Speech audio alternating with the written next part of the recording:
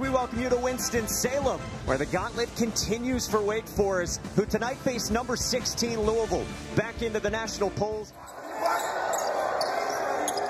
Ody Oguama with it, gave it back for Daivien Williamson, who was blocked by Carlik Jones, and a shot clock violation. Carlik Jones. Recognize that his defender's laying on the ground and take the ball to the goal. So it's wake up by four, and there's Williamson. When Mucius gets it, he's usually going to shoot it. Ah! Traynor at the rim from Johnson.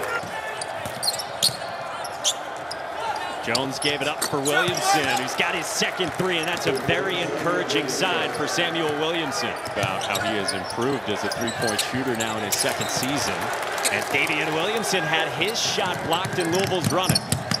On the hit ahead for Traynor underneath with two more.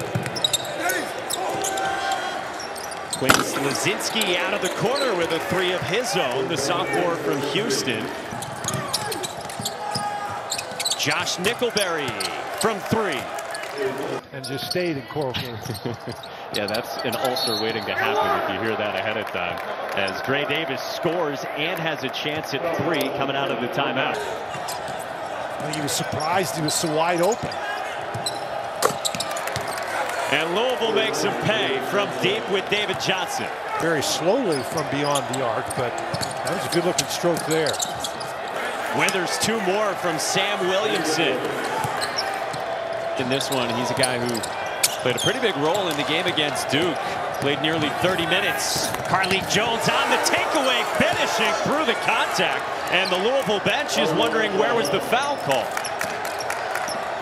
And that's now three steals in the game for Carlik Jones. And here Davis comes up with one. Taking it the other way and four quick ones for Louisville. And it was to your point as well on Williamson dribbling and creating off the penetration. Oh, wow. about that shot Carlik Jones? There was no angle there. Time to tie the game, but Mucius missed it. Oh, nice up fake by Dre Davis. Patient move from the freshman.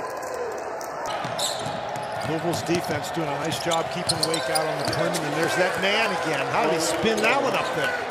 by Quinn Slazinski battling with Ody Oguama. Jones off the bounce with two more at the rim.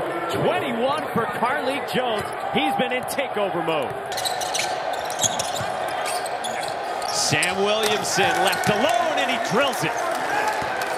And Louisville on the road will get to 4-0 in ACC action